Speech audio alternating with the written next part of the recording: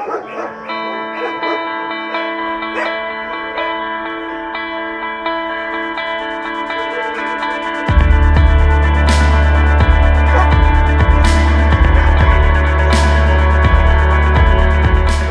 sığınacaq 2016-cı ilin oktyabrında ə, mənim tərəfimdən öz şəxsi bağımda təşkil olundu. Hal-hazırda sığınacaqda 350-dən daha çox it var və onlar hamısı xəstə, şikəst və yaxud yaralı olaraq bizə daxil olublar. Hal-hazırda gördüyünüz bütün ə, sağlam itlər hansı ki gəzirlər ortalıqda, bunların hamısını biz sağaltmışıq və onlar hal-hazırda tam sağlamdılar və sahiblənməyə hazırdılar. 2 illik fəaliyyətimizdə cəmi deməli ə, 13 ə, şikəst it sahibləndirə bilmişik. Sağlam itləri çox sahibləndirmişik. Ancaq şikəst itləri cəmi 13-ün sahibləndirə bilmişik və deməli bu bununla da yanaşı deməli xaricə daha çox sayda itlər sahibləndirməyə müvəffəq olmuşuq. Sahiblənmə mexanizmi necə həyata keçirilir bizim tərəfimizdən?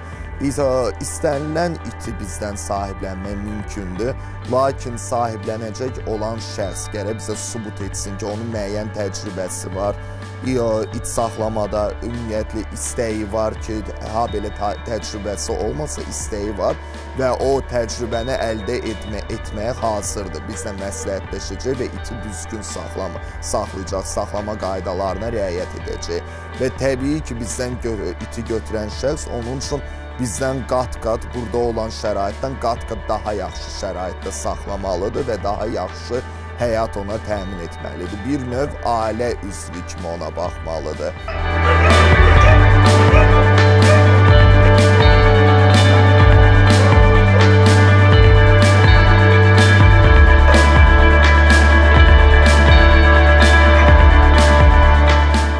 İtləri istənilən mülki şəxslər, istənilən insanlar, hansılar ki, küçədə görür, yaralı, şikəst it, heç artıq bizim barəmizdə o dərəcədə geniş məlumatlıdırlar, əhali o dərəcədə geniş məlumatlıdır ki, heç mənlə əlaqə saxlamadan ünvanı bilirlər və bura gətirirlər.